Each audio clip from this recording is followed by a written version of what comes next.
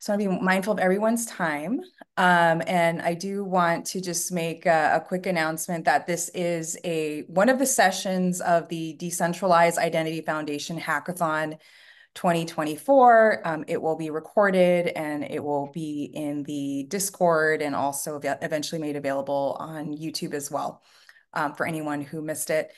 Um, but there are a few things I just like to mention, um, which is one is if you haven't joined um, the um, hackathon yet and you would like to, in order to join, you do have to register through DevPost. Um, so registration and also submission has to be through DevPost. I'm going to drop a few links here that are going to be useful um, if you don't have them yet. So the DevPost platform, we also have the Hackathon Discord. Every sponsor has a channel set up so you can ask questions, um, including PSE um, does have a channel as well where you can ask questions. Um, and then we have an info site because we there's so much. Um, we have 15 sponsors. There's so much um, that we have just people to be for people to review really that we decided to set up a separate site because um, Dev, Post really uh, wasn't enough. So um, you have an info site. Um, and if you have any questions, um, I'll also drop um, our hackathon email. Um, so with that, I'd like to introduce our friends from PSE, the Ethereum Foundation. Uh, we have Yanis and Sidor who are going to share about their challenge on ZKP. All right, take it away. Thank you.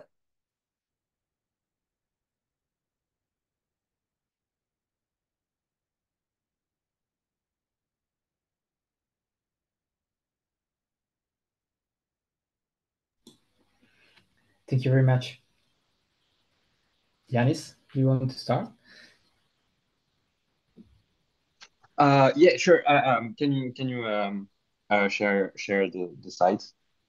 Mm -hmm.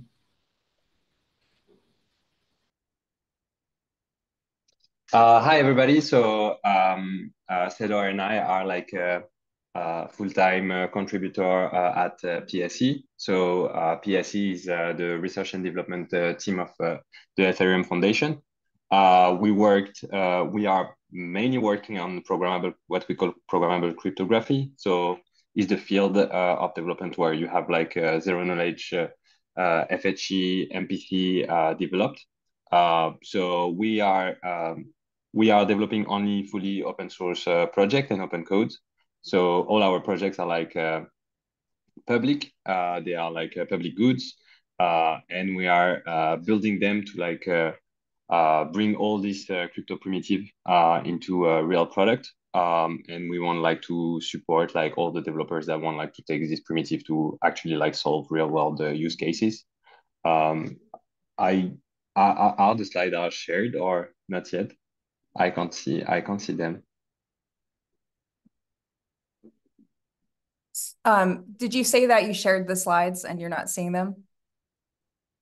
Um, like we we we are we we only want like to share like uh, them like from one computer. Like Sedor, like are you able like to were you able to share them? Of course. Yeah. Let me try. Oh, okay.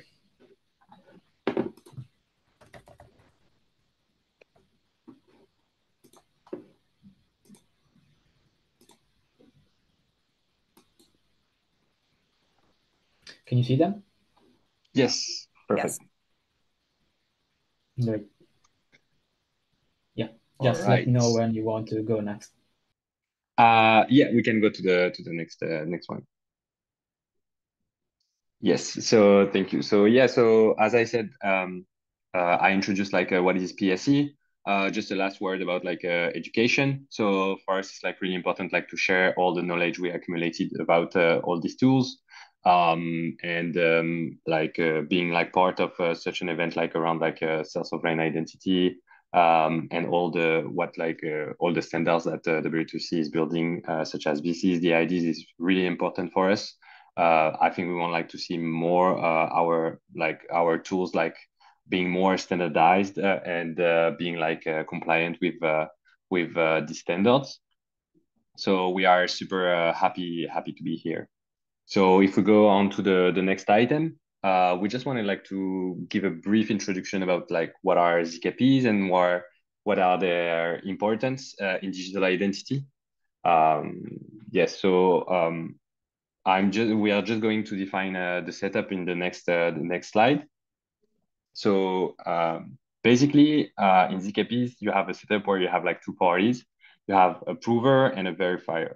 And so the job of the prover is to convince the verifier that uh, some uh, information or some computation were done right. So uh, the goal for the prover is like on uh, his side to compute some something and just uh, out of this computation there will be a proof and uh, the the verifier must be convinced about like the computation of this proof. So in the next slide, we introduced like uh, three uh, properties of uh, ZKPs. The first being like a completeness. So if the prover knows uh, an information, he must be able like to um, uh, convince the verifier that he knows it. On the other side, we have soundness. So on soundness, um, the important thing to note is that uh, the prover cannot like convince the verifier of false information.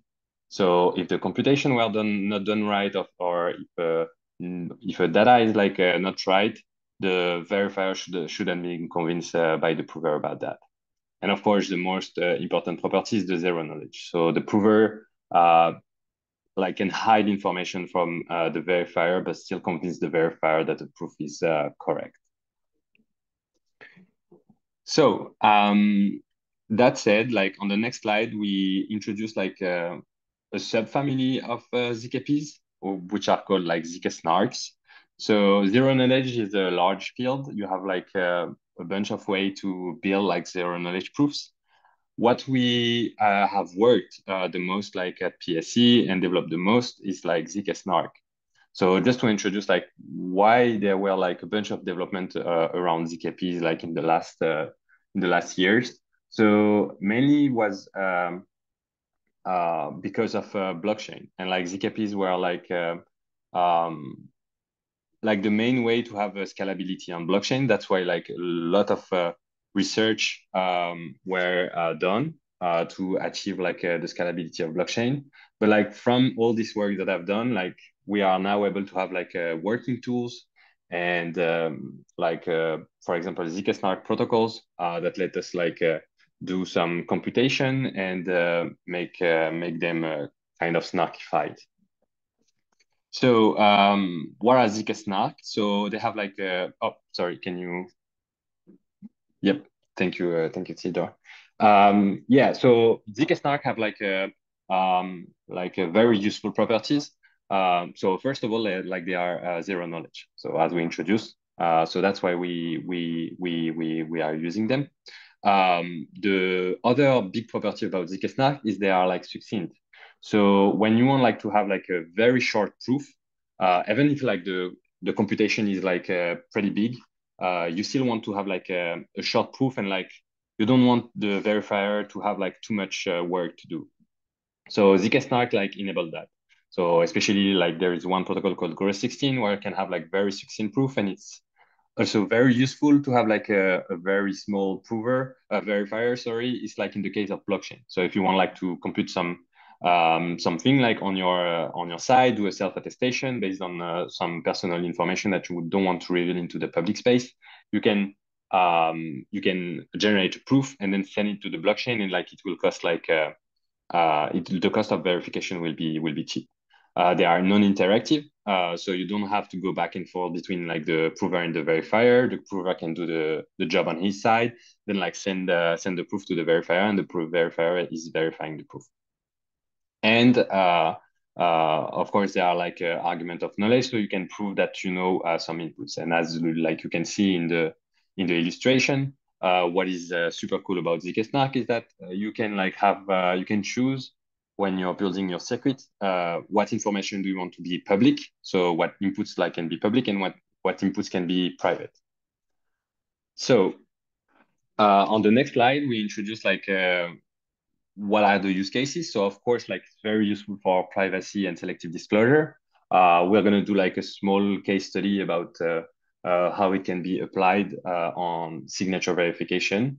Um, and just we wanted to introduce what are like the kind of the state of the art, like um, to build ZKPs um, and um, uh, zk-SNARK, but you have also like uh, Stark's uh, Stark's proof that are that is another field of uh, zero knowledge. Um, so the main the main way to develop ZKPs right now is like uh, through DSL, so domain specific languages. Um, so you have like uh, two main ones, which are like uh, CIRCOM and Halo2 that we developed uh, um, a lot. Like uh, we we used to to develop with them like a, a lot at PSE. Uh, you have uh, ZK VMs. So basically, the idea of ZK VMs is like so in CIRCOM and Halo2, you will you will build a, a circuit and um, every implementation of a circuit have like its own verifier. So meaning that you're like in a world where every pro- all the protocols have like uh, their own verifier and you have like uh, multiple verifiers. So what ZK VMs are trying to achieve is like to have like a one unique verifier for all the computation, meaning that you can have a VM. Um, these VMs support like all kind of operations.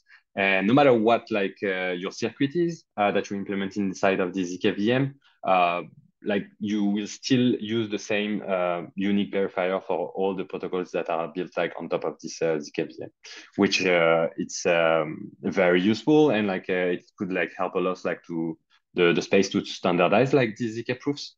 Uh, but we are not uh, there yet, so you have like a lot of um, blockers like uh, to have ZKVMs, especially and bottlenecks, especially like in terms of uh, uh, the amount of uh, resources you need to compute a proof. Uh, but we hope like uh, that these tools will develop in the in the near future and that we will be able like to to have like a, a bunch and a set of tools that for identity that will be built on these ZKVMs. Um, and you have also like another category, which is like uh, a ZK signatures algorithm, uh, such as uh, CL signatures, and uh, BBS uh, BBS plus uh, signatures. So if you guys are like in the SSI SSI space like since since a bunch of time, usually you must know that like this these two because they are like the two algorithms that are like standardized like to be used in in the SSI space. So um, now we are gonna like uh, dive into like a small uh, case study about like uh, what can we actually build with uh, with uh, with uh, with these ZK proofs. So we're gonna see like how we can apply it like to a signature verification. So here, let's say that uh, you have like some identity documents, right? Um, so what is the and inside of this identity document, you, you have like a, a, a digital signature from the from the government. So you have uh, Alice. Alice has an identity which can be represented like with uh, her name, uh, her date of birth, uh, the place uh, where she lives. And let's say that this data is like kind of concatenated and it represents like her identity. So what we what the government can do is like they it takes like this uh, concatenated version of like Alice identity, sorry, and uh, will hash it. So with a hash function such as uh, SHA-256, for example. Then this hash is going to be signed, and the governments like have a have a uh, will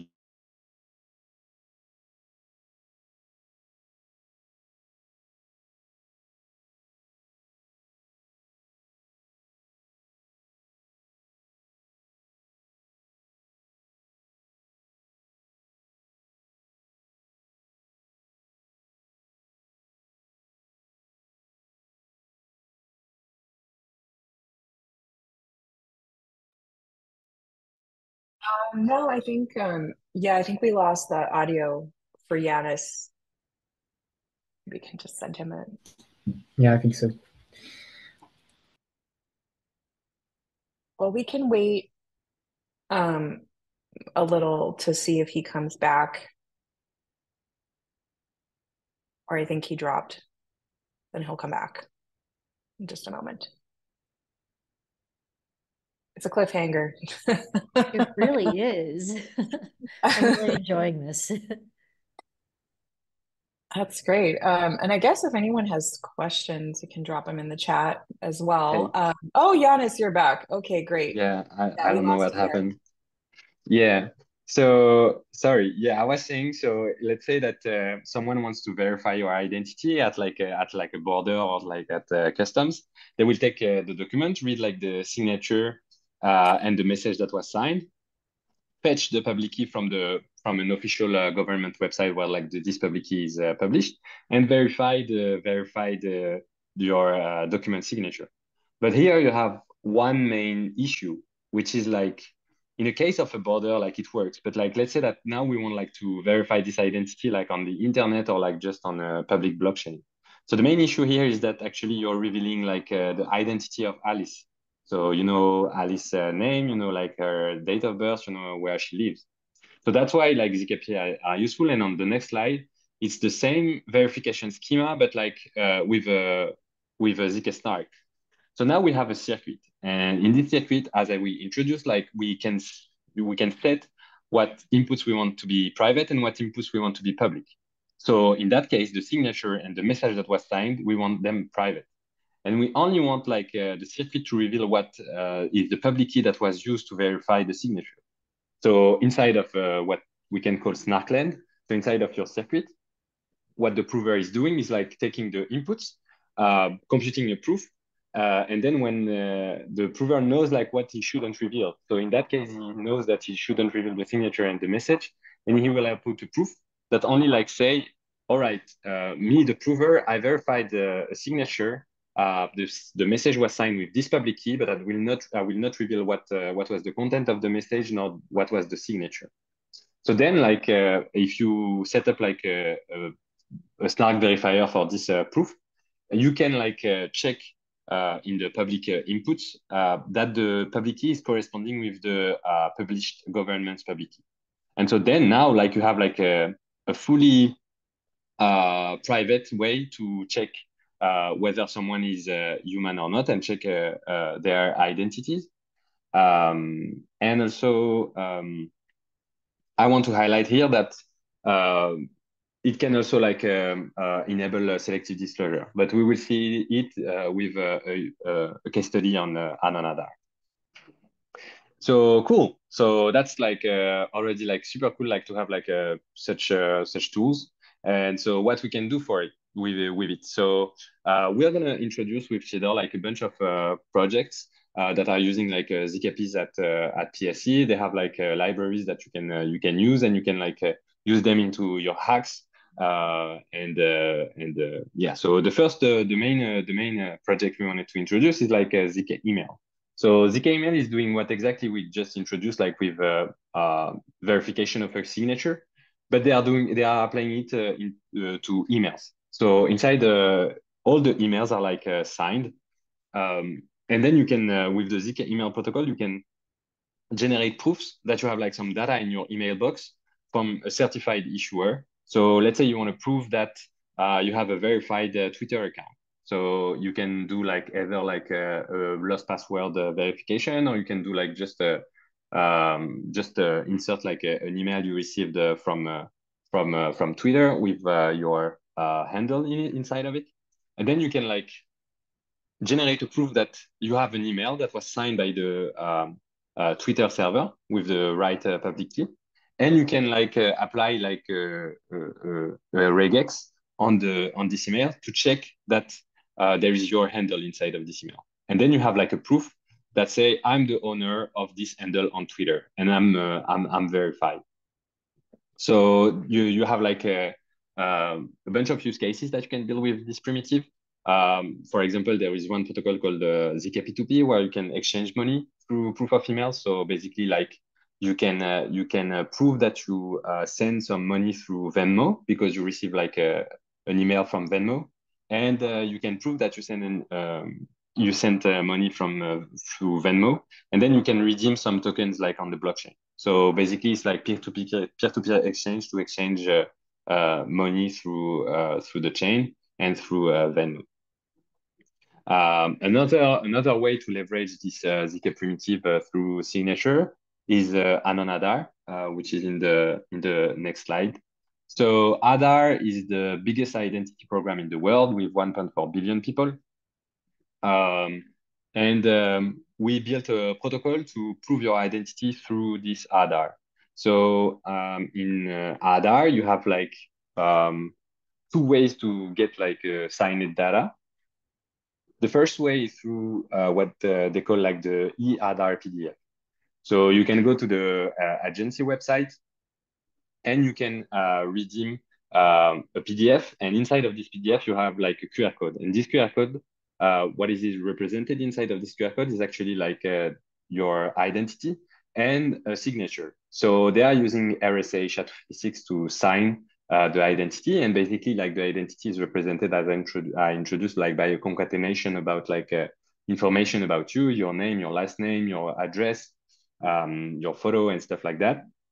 And so we can take this signature and we can um, insert it into inside of a, of a ZK circuit and generate proofs about your identity without revealing uh, who you are. So we are delivering, delivering like uh, this tool through uh, a TypeScript SDK we have also like a Solidity library to to check uh, proofs like uh, on the chain and build uh, on-chain uh, use cases. Uh, and we also build like a React library. So for developers, uh, you can have like a, a, wonderful developer experience. You can integrate this primitive under five minutes into your website. Um, all right. So now like I introduced like a pretty high level um, way to verify a signature with ZK. But I would just wanted like to dive a bit deeper into Aadhaar to show how we can leverage the same primitive about like uh, snarkifying the signature verification to enable selective disclosure. So, uh, sorry, this schema can be like a bit overwhelming, but uh, I just want like to introduce uh, some very important uh, components about like uh, the ZK circuit and how we can how how it is working. So the first uh, things we need to do, like uh, when uh, dealing with uh, this Aadhaar data, like inside of a circuit. Um, oh, sorry. Also, I just wanted to highlight that all this process is happening on the client. So no data is shared with any servers, and everything is like client side. So we need like the end user is never sharing any information with any server or any parties. Everything is happening on their side, and they can generate proof uh, locally. So what they are going to do, they are going to insert like their signed data. So this data, like in the process of signing, it's hashed and signed. So we have to do like uh, the same process inside of the circuit. So apply the same hash function and verify the RSA signature. So then we have like uh, authenticated the data. So the first two blocks are like super important because it's like the core of the protocol is like, all right, we know that uh, the signature is genuine and we know that the data relate that was signed is genuine and so then we can like process it. So then once we we did that inside of the circuit we can access all the information about the user and we build like a selective disclosure on four fields. So we can this, the prover can say if the person is like uh, more than 18 or not can reveal the gender of the person the state and the pin code of the of the person. So and these are all features that you can set to the prover so the prover can reveal um, nothing about the user and just add to the proof that says, all right, so this person definitely have like a, a signed document by the government.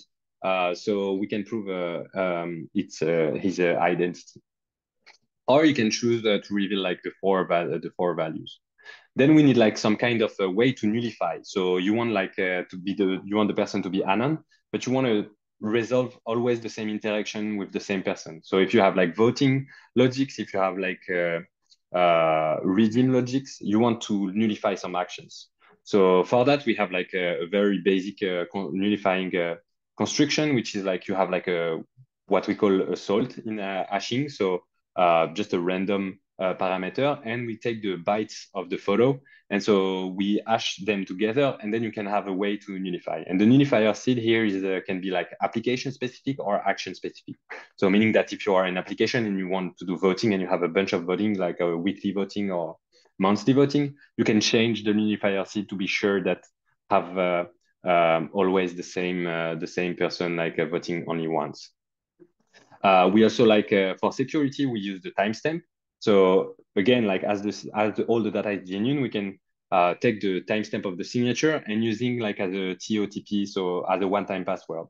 So meaning that we can set a verifier to say, all right, so I want you to show me some proof, but I want that this proof derived from like signed data in less less than three hours ago. So I can ensure that you were able to access your account and you were able to have access fresh data.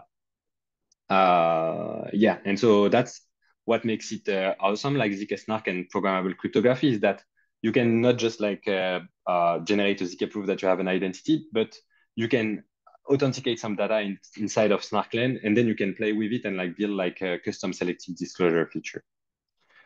All right, so next uh, next project is uh, the same as Aadhaar I introduced, but it's uh, applied to the to the worldwide because it's applied to passports. So the same as uh, Aadhaar as uh, identity signed data. Uh, passport also like have a signature inside of it uh, of them. Uh, as I introduced, like um, in your passport, if you have like uh, you have like this uh, small ICAO logo, if you have it, that means that your passport is uh, signed. And so you have a chip inside of the passport that you can access through NFC, and you can read uh, you can read the data of the passport and you can read the signature. So the same as we introduced with uh, Aadhaar and with uh, Snarkified uh, signature verification, you can apply it to passports. So we have a protocol called Open Passport. They did they are doing an amazing job uh, doing all the flow and same all the components that you need, like to generate a proof uh, through Passport. Uh, yeah, and so the only thing with Passport is that like uh, not all the passports share the same signature algorithm. So there is like a, a lot of work to do to integrate all the algorithm and to have like all the passport compliant. Uh, Open Passport, like if you go to their website through the QR code, they have like a wonderful map where you can see like what uh, passport is compatible with the protocol for now and what they are working on and integrating as signature algorithm uh, to have uh, to to be able like to generate uh, uh, proofs about them. Uh, all right, so I will I will let I will uh, Sedor take it from here and introduce other cool projects. Thank you so much, Yanis. Uh, so I'm Cedar and I'm a software engineer and I also work with the PSE team. And um, I'm going to show you other two projects, TLS Notary and Semaphore. And finally, I would like to share some slides about our, our expectations and the challenges we have had during uh, the last months related to SSI. So TLS Notary is one of, um, of the PSE projects and it is basically based on TLS. TLS is pretty famous, um, used by almost everyone uh, today. And it's basically DS after the, the HTTP, HTTP um, protocol. Um, so TLS Notary um, basically uh, allows people to prove and selectively disclose um, data transmitted over TLS. In other words, it enables a client to uh, verify the authenticity of data obtained from a server. And, and um, eventually shard is also called verifier. So we uh, divided into three phases that like the core of the protocol um, are the same as the TLS protocol. Two actors are the same component actually, but can they can also be uh, two separate actors.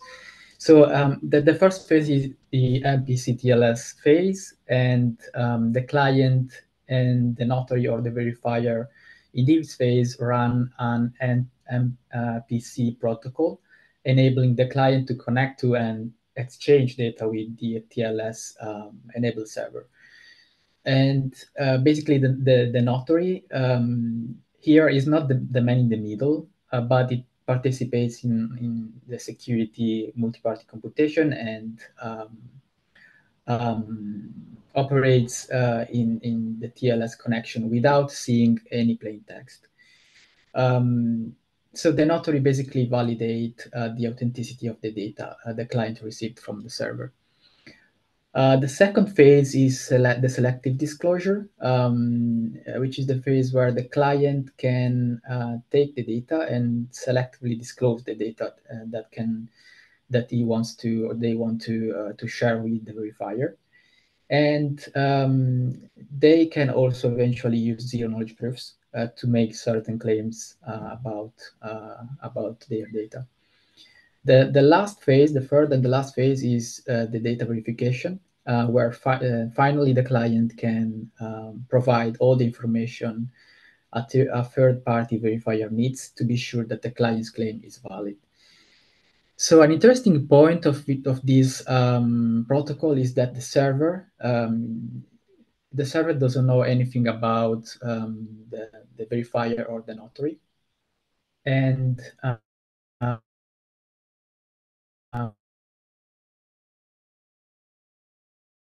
um, the, the TLS connection between the proof as uh, the, the like the, the TLS connection, uh, which means that uh, with TLS Notary, uh, you you like developer can basically build any kind of application uh, built on top uh, or leveraging existing services without requiring any modifications to their APIs or additional integrations, which means that you can basically um, use Twitter or your bank account or any kind of service you can find online in the internet. Um, and you can take that data, that TLS data, you can and you can prove um, something about that, that data without any um, any additional uh, modifications to, to Twitter or any kind of service. Um, so there are many interesting use cases. One of them, some of them are, uh, for example, account ownership verification. Uh, you can prove you have access to an account on a web platform, or you can prove you own a, Twitter account or an X account.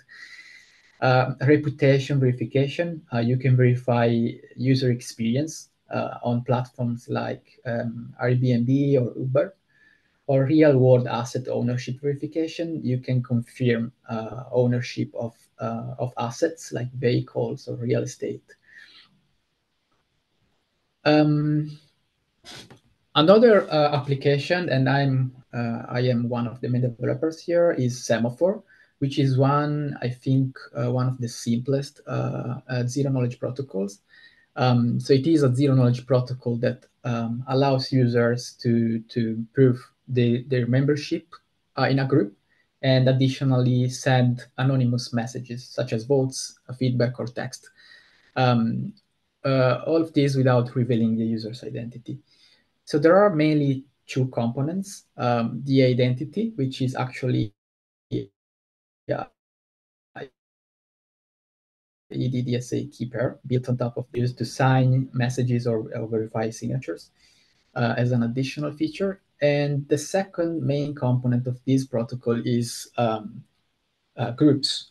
Uh, groups are actually incremental Merkle trees um, that are um, binary trees where the leaves are inserted sequentially, uh, meaning that uh, the next level, the next leaf of, uh, of the tree um, will have the, the index of the previous leaf plus one.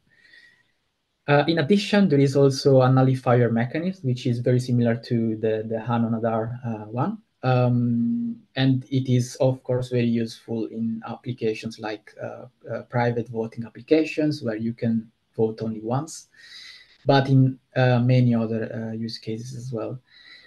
Um, I would like to show you the circuit of semaphore. As i said before um, semaphore is super simple. Um, the circuit is very very small and light. And um, and uh, it's very uh, efficient as well because there are not many constraints. Uh, it uses Groth16 and uh, the circuit can be split into three different components. The first one is the, the proof of membership um, as you can see, there are some private uh, private inputs and some uh, public inputs and outputs. So as I said before, the first component of this circuit is the, the proof of membership, um, which is basically the path uh, from the leaf to the to the root, um, which is used to uh, to prove the membership of your identity. Your identity is basically in this schema um, the, the private key um, the secret. Um, the circuit um, get the, the public key from the private key and um, the hash of the public key is the identity commitment, which is the leaf uh, in the Merkle tree. Um, the other component is the nullifier, uh, which, as I said before, it's um, it's very important because it uh, prevents the same proof to be used twice, basically. Um, and uh, another component is the message, of course, uh, which is like the, the piece of data you can share to to to vote or to share your your feed your Off of that bitch in the back with the Burberry on. Hey, hey. To this day, oh, it's a train right here. I'm not trying to get hit. I'm walking around. Insta- uh, I- okay. and so I would like to to um, uh, describe some examples of applications you you can build with Semaphore. Um, one of them is quite obvious, like a private voting application, but it can also be used for whistleblowing, for example, applications, um, or uh, anonymous authentication systems or private reputation system, or more broadly, like uh, Sybil resistance uh, airdrops or pools or systems. Um, Semaphore uh, also provides an SDK, a JavaScript SDK, so you can use it to, to build your applications or, or protocols. Uh, there are also some uh, Solidity contracts uh, to manage groups and verify proofs on chain, and a demo app uh, that can be used as a boilerplate for your project. So I would like to uh, show you some challenges uh, we have identified um, during our research on SSI and the identity stack as a PSE team. One of them is a Solidity verifier for BBS Plus. Uh, BBS Plus is uh, uh, is used a lot in this space, um, but we realized that there is no uh, Solidity verifier or any on-chain verifier actually. So one challenge is to build this uh, this component um, with the BBS plus algorithm. And uh, other interesting um, challenges to face are uh, like uh, a recovery system. Um, we noticed that many wallets uh, don't have uh, like a specific solution for for the recovering the, the keys of the user. So MPC can definitely be useful here and helpful, um, or even for uh, for uh, the credential issuance. Um, another uh, missing piece we identified is the uh, the centralized PKI PKI uh, infrastructure uh, built with, with. Um, and in general, we have felt that um, our protocols definitely need to be integrated or to be compatible with the uh, W uh, free C standards, VCs and DIDs. So um, yeah, like um, in general, uh, the main challenges uh, other than these ones uh, we have faced are lack of standards and interoperability and complexity and accessibility. So as a PSE team, we aim to make the protocols we are working on more compatible, and we would like to see projects in the hackathon uh, that goes uh, toward that direction. So prices and expectations, or uh, this is the list of prices and uh, what um, what would we like to see. Um, of course, ZKPs, MPCs, and FHE technologies uh, that can be used to solve a lot of problems, especially I think in the SSI space.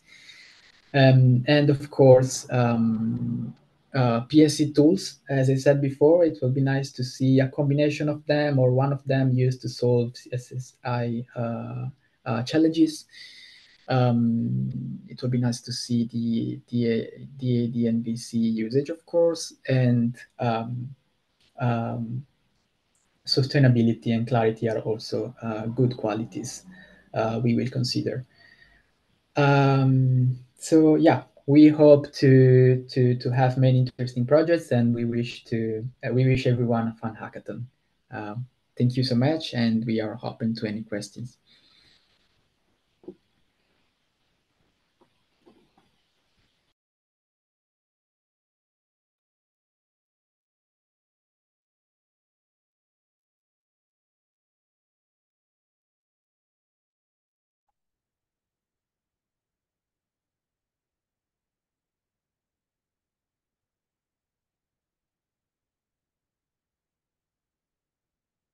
Like Kim has a question. Go ahead. Yeah, I have a lot of questions. Um, I mean, this is great stuff. I'm going to start with just one. And um, so I am curious to learn more about the role of DSLs. Um, can you talk a bit about that? I think you mentioned more at the beginning how, um, you know, in general, each, you know, sort of, I guess, use case or um, kind of, I, I don't know how to segment it. You know, there's a development of domain specific language, and and I'm guessing that can inform things like what the issuer can express, what they can choose to make select, what they can choose to make uh, discoverable, and in turn, what the verifier can um, request. So I'm just curious to hear a little bit more context on DSLs. Yes, sure. I can I can take this one. Um, yeah. So right now, like if you want to do like uh, turn any like arbitrary computation into um, into a zk proof, and so you want to you want to kind of uh, customize like the job of the prover, and you want like to to to be able to implement uh, any um, operation logic such as uh, multiplication and addition, uh, and you want like uh, to constrain them to build a proof. So if you want to do that, like uh, the best way today, like to, to do it is like uh, use uh, using a DSL. So um, DSL, you have like uh, now plenty of of one. Like I I I um, I spoke about like Circom, Halo2. You have also um, Noir. Um, so you have like uh, the DSLs, and what you can do with these DSLs is like you can build and program like uh, the job of the prover. So you can implement like any logic that you that you you want uh, to uh, constrain uh, the job of the prover. So in uh, the case uh, we in the case study we we spoke about. Uh, so you can do a signature verification. So there had been like a bunch of work done like in the in the open source community and especially like supported by PSE to implement like a lot of logics in in Circom, for example. So you have uh, um, like the main one being, for example, ZK email. So I it like uh, I spoke about like Anon Aadhaar and Open Passport. So these projects are, for example, uh, using the implementation of RSA SHA-256 done by ZK email. Um, so yeah, yeah, there, you you can find like a bunch of uh, already implemented logics uh, in uh, in this uh, in these DSLs. And for now, yeah, they are like the main way to do like what we can call like um, arbitrary computation or like full purpose uh, ZK, ZK proofs.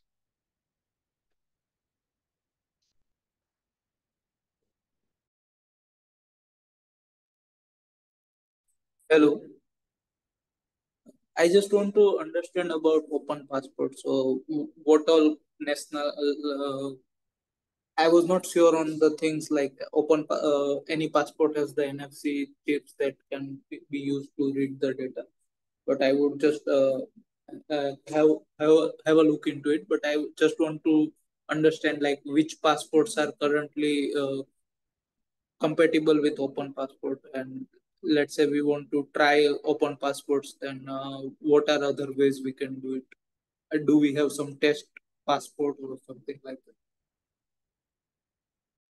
yes so um, i will uh, right after answering the question i will uh, go on their website and like send you the link so they build like a, a visual map where you can see like all the passports that are compatible with the protocol so as i said the main challenge here, here is that so the specification about the chip and how the data is, store, is stored in how you read this data is like shared across like all the passports in the world.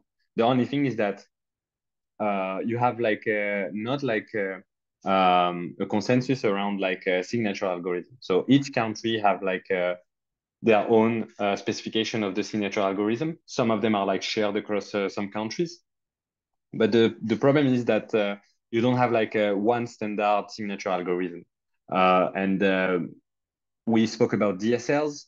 Uh, DSLs are like kind of hard. So having like all the signature um, implemented into these DSLs is like a, a, a, job that we are we are still uh, we are still uh, we are still uh, doing. but yeah, sure, I can I can send you I can send you that the map. and for the test data, yeah, I think like the Open Passport team built built some um, some test uh, test data that you can use like to just uh, build uh, build the flow, uh, generating a proof based uh, on the uh, dummy dummy data, and um, and you can you can you can build the flow without having to use like your real data passport data. Sorry. Yeah, that makes a lot of sense. In in India, we have DigiYatra that uh, issues a verifiable credentials using biometrics of Aadhaar. So maybe open passport can be used for inter international uh, kind of thing yeah exactly I, that's why i think like open passport and uh, other projects are like complementary is that um, so for example we studied like the case of uh, india and so india is rolling out like uh, this like uh, uh, what we what we call biometric passport like we've signed data inside of it but uh, what we saw in the figure about like the rollout is like um, not uh, it's still slow and um, like very few people in India have like a, a signed passport. But that said, like a bunch of people have like a Aadhaar and they have signed data. So uh, it's the way to go, like uh, to generate proof of identity uh, from signature.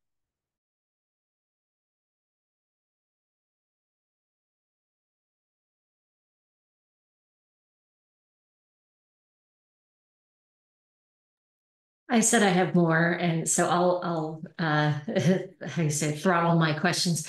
Um, one thing that's really interesting and uh, gives me a lot of hope in seeing Anon Aadhaar in, in the Open Passport or the uh, Open Passport project is that what you've done is really composable, right? So if one has concerns about the um, you know correlatable correlatability aspects of something like say mobile driver's license it's seeming like what you're kind of building is something on top of that such that you can get the privacy guarantees. And then i think you touched on this in the passport like you know certain entities would be required to accept the official full thing whatever maybe they're regulated. But for areas where people don't need that full data, this can help kind of avoid the over identification problem that we deal with today. So um, I'm guessing then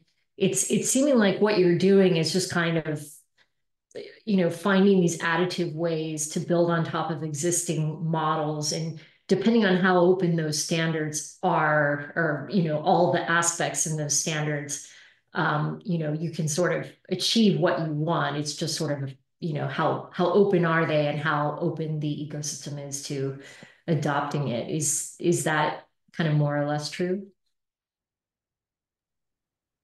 Uh, yes, I think like you you touch a really important point, and that's why um, like we we are maybe like uh, you have like the SSI spectrum or the stack spectrum, and uh, the beauty about like uh, programmable cryptography and what we the job we are doing like uh, uh, with all this project developed uh, developed by PSE is that so in SSI you have like uh, the usual flow about having uh, giving some tool to to an official issuer and then this issuer is integrating this tool and like signing signing data. But uh, what we are doing is like enabling another field inside of SSI is self attestation is like with uh, the already uh, present uh, like uh, uh, available data, I can generate my own self attestation, uh, which can be cryptographically secure by all these tools like MPC, FHE, and and zero knowledge technology.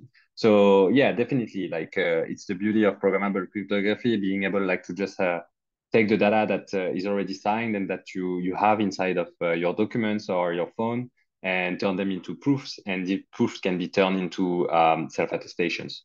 So that's why we want to have like our projects like more compatible with uh, with uh, VCs and DIDs.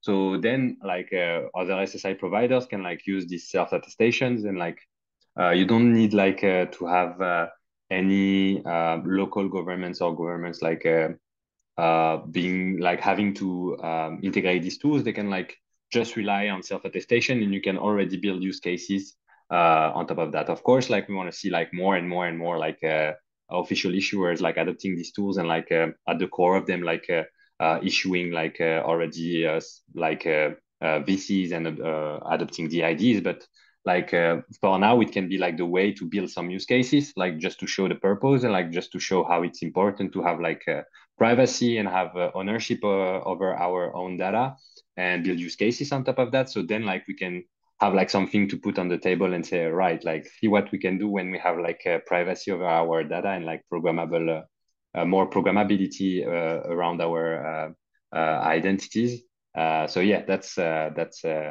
that's what we are trying to achieve here. I don't know if uh, Cedoor, you have like something you you wanted to add.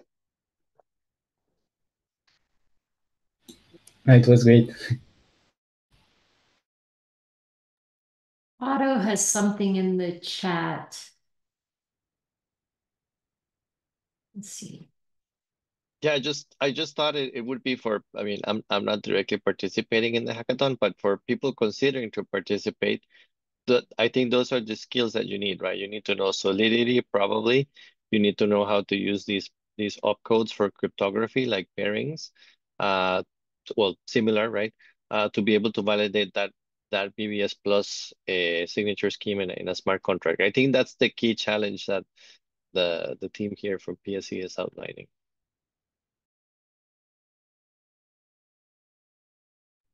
Yes, exactly. You're right. And uh, if any hackers is like interested like into this challenge, like we can uh, we can discuss like uh, in the the Discord channel uh, inside of the DIF uh, server. Uh, yeah. So as Cedoor just said, like there is no precompile for the BLS 12381 curve for the BBS algorithm. Um, so then you would have like to change the way the algorithm is implemented uh, to use the BN 254 uh, curve and uh, build a solidity verifier for, for that, yeah.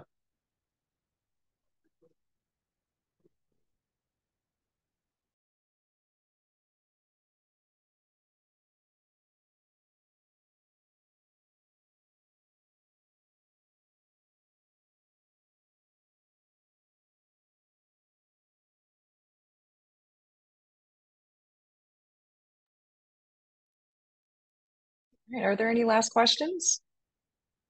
Uh, just from my side, the deadline, I think, Limari, for the like registration, or is it all the way up to submission? Yeah, you can, can register all the way up to the submission point. Mm-hmm. November 4th. Perfect. Yeah, I'll try to get this out on Twitter. I think it's a great challenge, and yeah, I'll reshare it, try to get more folks interested in this. Perfect. Yeah, that would be amazing. Thank you. Um, so I, if you guys wanted to chat a bit more, I know Kim might have some more, um, but um, you can go ahead. I will have to hop off for the next session. Um, but thank you so much, Cedoor and Giannis. It was a great session. Um, it's fascinating work that you guys are doing, and I hope we get a lot of people submitting to this challenge. Okay. Thank you very much. It was a pleasure. Thank you. Thank right, you. Thank you. I'll hop off. If you guys want to chat, um, feel free. Bye. Bye, everybody. Bye bye. Thank you.